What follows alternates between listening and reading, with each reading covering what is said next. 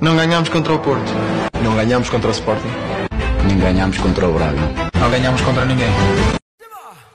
Nossa, nossa, assim você me mata.